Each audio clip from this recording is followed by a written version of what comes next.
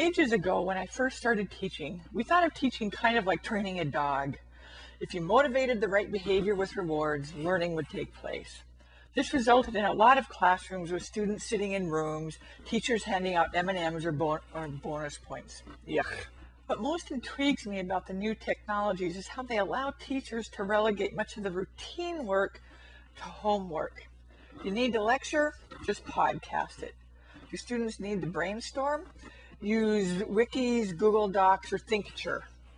This frees up class time for more engaging, student-centered, hands-on practice, increasing their motivation. More importantly, Web 2.0 tools like blogs and podcasts allow students to publish real products for real audiences. This is not only intrinsically motivating, it involves students in real learning as they gain a deep understanding of their topic in order to convey their message to others.